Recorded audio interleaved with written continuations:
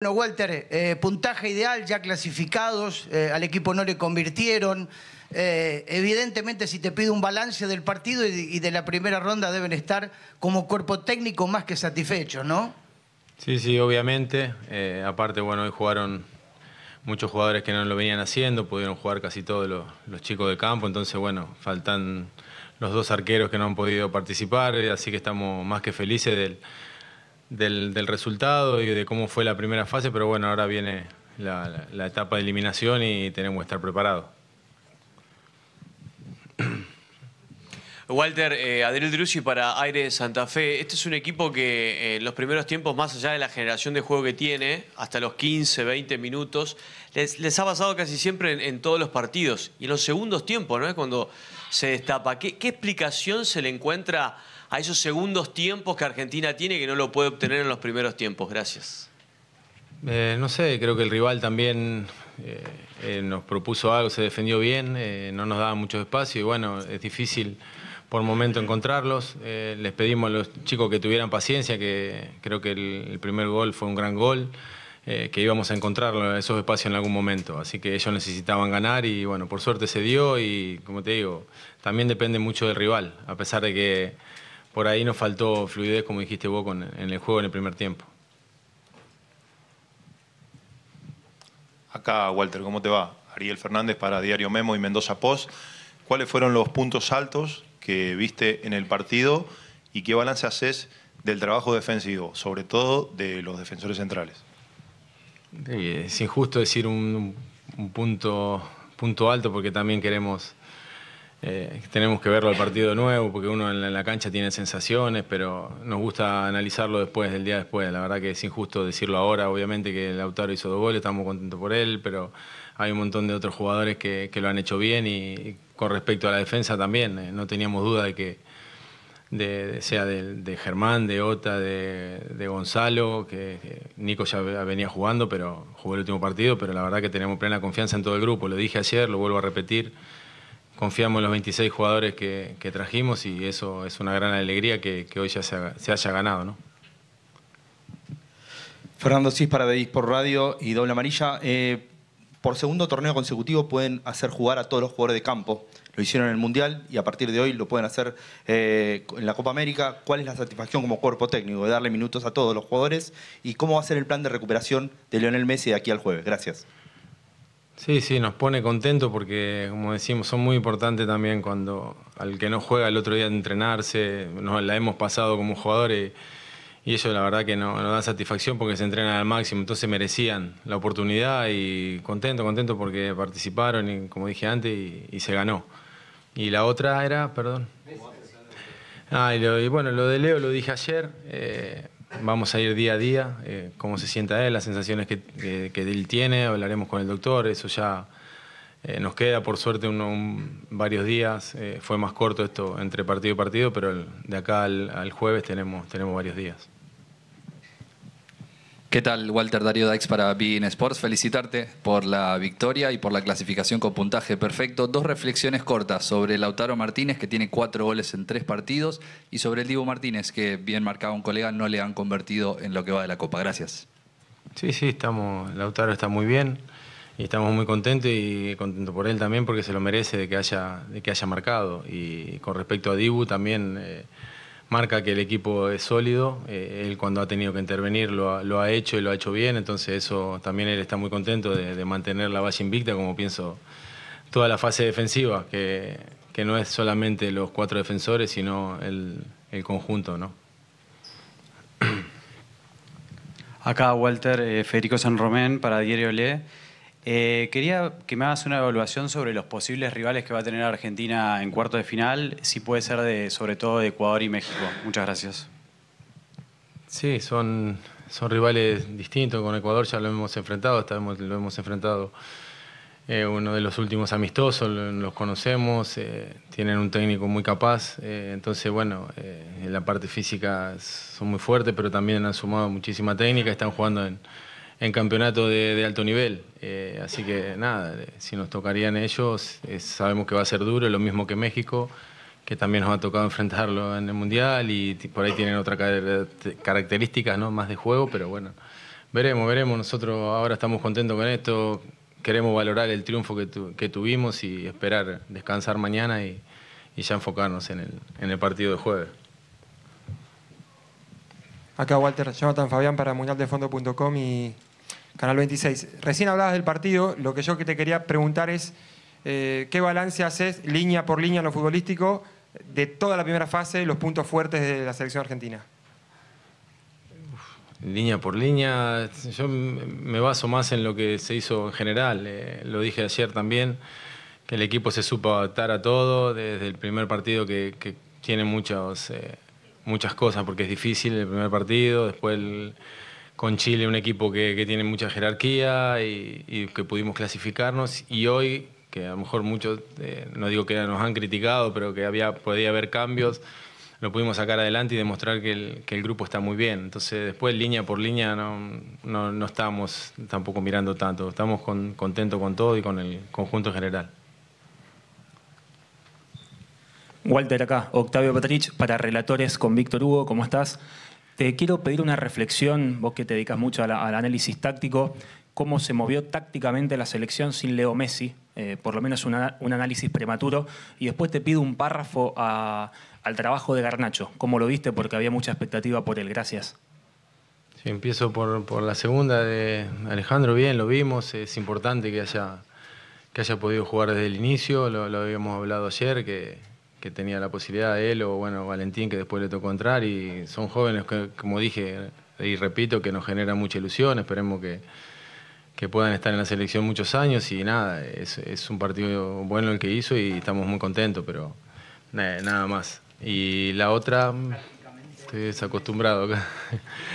Eh, no no sabemos cuando no está Leo que eh, tenemos que cambiar un, nuestro, un poco nuestro estilo de juego, pero, pero no mucho, porque Fideo también tiene esas características y por ahí puede jugar un poco más afuera y, y, era, y entrar, pero bueno, vamos cambiando y nos adaptamos, a veces no encontramos los espacios, vamos cambiando durante el partido o, sistema, bueno, eso lo, va analizando, lo vamos analizando nosotros esta vez porque nos tocó, pero eh, Leo, que es el, el, jefe de, ¿no? de, de todos nosotros.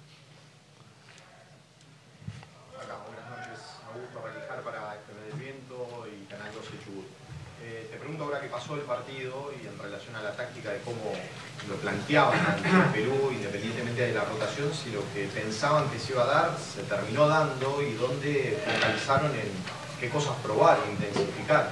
Y por último, en relación a tu trabajo puntual en aquel antecedente de Calama, que cambió en el ida y vuelta con Scaloni, si hablaste con él durante el partido y qué tipo de situaciones y de relación tuviste o cómo lo trabajaron como cuerpo técnico. No, no, bueno, no se podía, pero, pero obviamente que la preparación, todo estuvo Leonel, entonces bueno, eso eh, estuvo, estuvo él. Entonces ya después nosotros tratamos de llevar a cabo lo, lo que se había planeado, el plan de partido. Y bueno, y después con respecto al planteamiento sobre Perú, bueno, queríamos tenerlo también allá bajos sería ellos y poder atacar por sea por el lado de Fideo, por el lado de, Alejandro y crear superioridad en, los costados y a veces entre líneas. Queríamos, teníamos que variar. La verdad que ellos estaban un poco bajos y a veces es difícil encontrar espacios. Sabíamos que podía pasar eso. Pienso que en el segundo tiempo lo, encontramos y, se vio partes de, buen fútbol, ¿no? Y se abrió el partido, así que, como te dije, son, son partidos difíciles cuando se meten atrás y bueno, a veces cuesta entrar. Walter, buenas noches. Eh, Gustavo Charroch para Radio La Red. Eh, hablaste de que les pediste paciencia en el entretiempo a los jugadores. Eh, también se los notó más rápido en la etapa final. ¿También hiciste hincapié en eso, en que el equipo estuviera un poco más de dinámica? Sí, por ahí que se moviera un poco más rápido la pelota. También el, clima hoy estaba, estaba difícil, hacía mucho calor y bueno, creo que son, son todas cosas que van pasando durante el partido, pero sí, le dijimos que, Primero que mantuvieran la positividad porque el equipo estaba bien, no nos habían llegado nunca, eh, nos faltaba solamente jugar un poquito más rápido y los espacios encontrarlos y bueno, fue lo que pasó, así que por suerte ellos no, no perdieron porque a veces se pueden fastidiar o al no encontrar lugares y bueno, ellos la verdad que siempre se mantienen positivos. Acá Sofía Martínez para Urbana Play. Te pregunto, Walter, primero, dijiste que lo de Messi es un día a día, eh, pero quería saber qué le transmite él con respecto a qué molestia tiene o qué siente en esa, en esa charla que deben tener. Y segundo, ¿cómo lo estás viviendo vos este momento, este partido que te toca vivir, las conferencias de prensa? eh, si se disfruta, si tienen tiempo para disfrutar o es todo demasiado intenso para poder disfrutarlo. Gracias. Está bien. Sí, con respecto a, a Leo, bueno, también estuvo en, el vestuario, estuvo, lo notamos mejor, eh, pude hablar un segundo con él y, va mejorando la, situación, pero bueno, son pocos días y es prematuro hablar, la verdad que no es que no quiera decir nada, pero queremos escucharlo a él y, ir día, día a día también al doctor, entonces bueno, son cosas que ya se nos escapan y tendremos que ir hablando día a día. Y con respecto a la situación que me tocó, bueno, espero, no sé, no estoy acostumbrado, la verdad. Trato de hacerlo lo mejor posible. Eh, junto con Pablo y, y Ratón, eh, intentamos llevarlo de la, de la mejor manera. Por suerte, como te dije, el, el equipo respondió y, y agradecemos también al grupo porque nos dieron una mano grande. Walter, ¿cómo te va? Germán Lucero para RTS Medios, la provincia de Santa Fe. Quedan tres partidos de, de Ángel Di María, eh, ya lo anunció él. Eh, Y si bien es cierto que todavía quedan tres partidos y hay que disfrutar, ¿qué valoración pueden hacer de lo que ha significado su implicancia en todo el ciclo de esta selección argentina, sobre todo en el tramo final? Eh, sí, es, es una lástima seguramente porque es un grandísimo jugador y, y lo han dicho todos, ¿no? De, de tratar de disfrutarlo hasta, hasta el final, ojalá que, ojalá que se dé, que, que se llegue ¿no? hasta el final. Entonces, es disfrutarlo a él. eh, obviamente él hasta hoy no quería salir, se siente bien, está en plenitud y eso, la verdad que está en los entrenamientos, está muy en plenitud y nos pone muy contentos que, esté feliz. Creo que cada día que pasa lo está disfrutando, así como lo disfrutamos nosotros.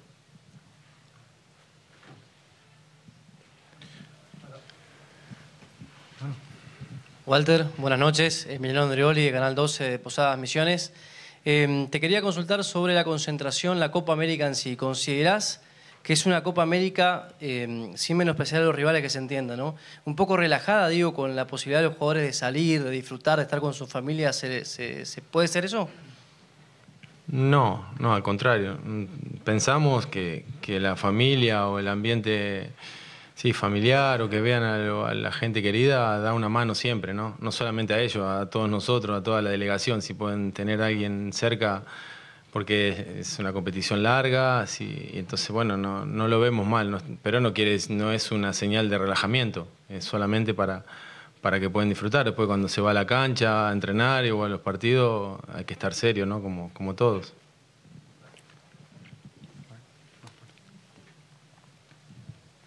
Buenas noches, Walter. Radio Morena, Guayaquil, Ecuador.